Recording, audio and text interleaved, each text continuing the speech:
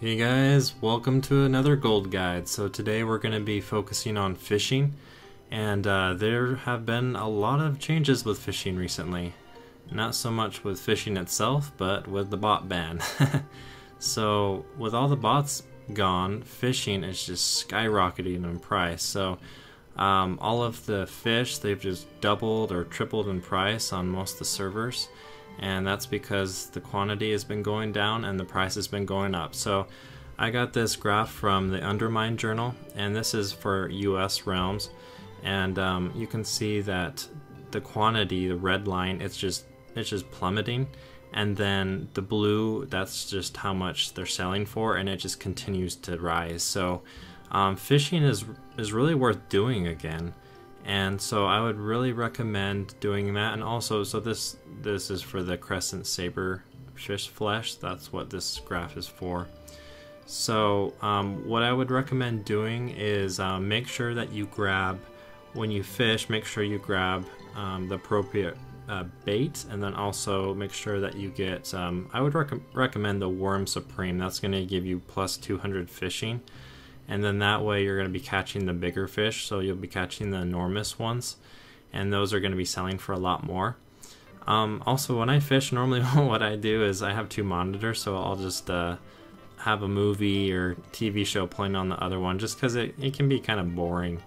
But um, anyways what I'm gonna do um, later is I'm gonna show you guys uh, maybe like a, a, gold per hour or gold binge series on this so that way we can kind of get a better idea of how much gold per hour you're going to be making.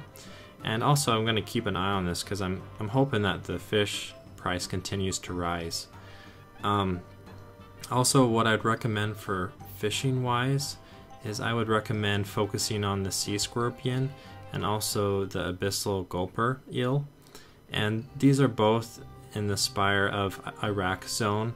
Um, the sea scorpion is on the outside, so like the ocean area, and then the abyssal eel is um, on the inland, and so it'd be like in the ponds and lakes and stuff like that. And like I said, get the appropriate bait. You're to be fishing up that bait anyways, and it lasts 10 minutes, so um, but yeah, like at the beginning of this expansion, I made a lot of money from fishing, and I'm glad it's coming back. I'm glad the bots are gone. And then also, just a side note, like with 6.2 coming out, um, from fishing, we're going to be able to to get the Felblight, and um, so that's going to be a huge money maker because that's going to be we're going to be using that to upgrade our crafted gear to like six or seven fifteen. So.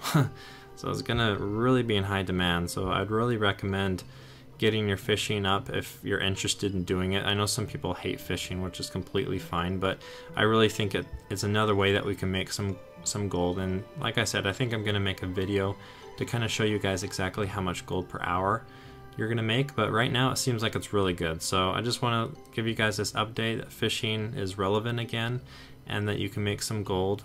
Um, and also the reason I selected the sea scorpion and the abyssal eel is because they just they sell really well right now because the sea scorpion they use it for healing tonics and also some feasts. And then also the abyssal eel you can make the critical strike uh, 125 food buff. So anyways they'll be in high demand and especially as the quantity co continues to plummet. So um, yeah guys I hope this is helpful for you guys. Um, and yeah if you like the video please give it a thumbs up. We'll see you guys next time